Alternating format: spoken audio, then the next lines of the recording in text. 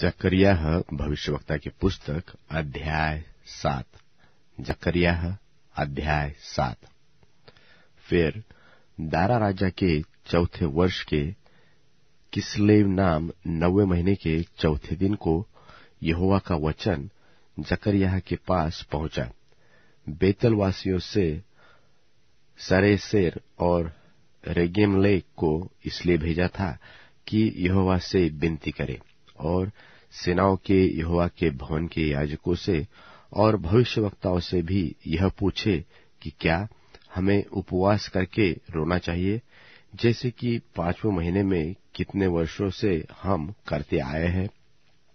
तब यहोवा, सेनाओं के यहोवा का यह वचन मेरे पास पहुँचा कि सब साधारण लोगों से और याजकों से यह कहा कि जब तुम इन सत्तर वर्षों के बीच पाँचवें और सातवें महीनों में उपवास और विलाप करते थे, तब क्या तुम सचमुच मेरे ही लिए उपवास किया करते थे?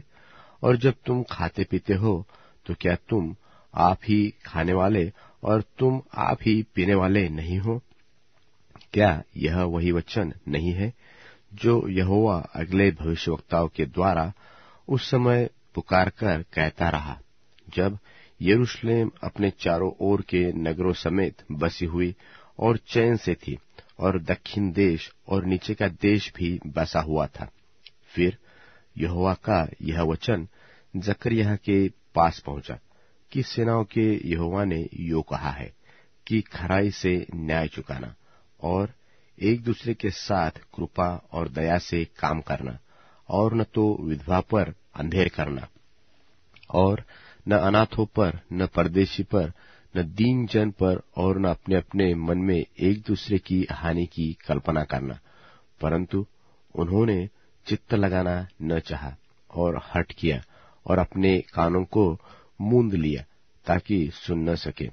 वरन उन्होंने अपने हृदय को वज्र सा इसलिए बना लिया कि वे उस व्यवस्था और उस वचनों को न मान सके, जिन्हें सेनाओं के यहुआ ने अपने आत्मा के द्वारा अगले भविष्यवक्ताओं से कहला भेजा था।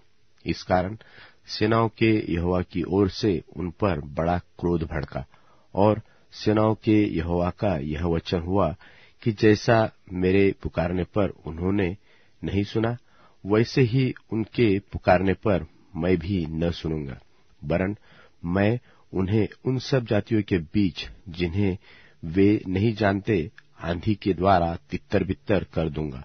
और उनका देश उनके लिए ऐसा उजाड़ पड़ा रहेगा कि उसमें किसी का आना जाना न होगा। इसी प्रकार से उन्होंने मनोहर देश को उजाड़ कर दिया।